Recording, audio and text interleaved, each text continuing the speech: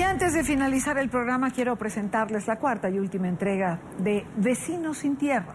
Esta vez se trata de Roxana Revillá, una ingeniera que hace un año salió de Venezuela y hoy vende empanadas en el occidente de Bogotá, la capital de Colombia.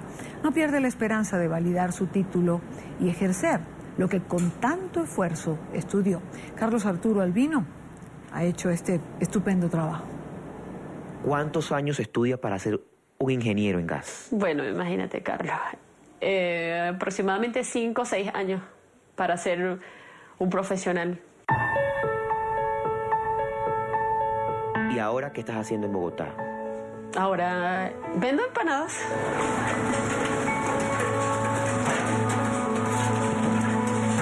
Roxana Revilla, venezolana, le han sobrado ganas de salir adelante. Llegó hace un año a Bogotá con su esposo y primos, carga con orgullo la camiseta de la selección de Venezuela y luego de haber estudiado ingeniería, prefirió vender empanadas, por ahora en Colombia.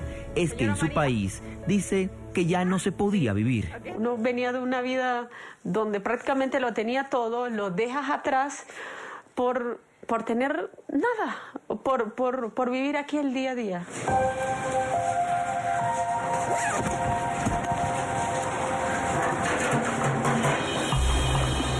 Esta mujer aguerrida llegó con todos sus ahorros a Bogotá. ¿Con cuánto llegaron acá? 54 mil pesos. Veníamos cuatro personas. Una familia en Bogotá le prestó una habitación, pero ¿cómo comían con tan poco dinero? todos los días comíamos pan. Pan con agua, pan con leche, eh, pan con refresco. Está rico, está rico. Hoy están mucho mejor, comen bien, pero la mayor preocupación de Roxana y su familia, que dejó en Bachaquero, Estado Zulia. Está mi mamá, está mi abuela, que yo tengo miedo de regresar y que ella no esté, que, que ya ella no me esté esperando, Carlos, que ella no, que muera y yo esté aquí.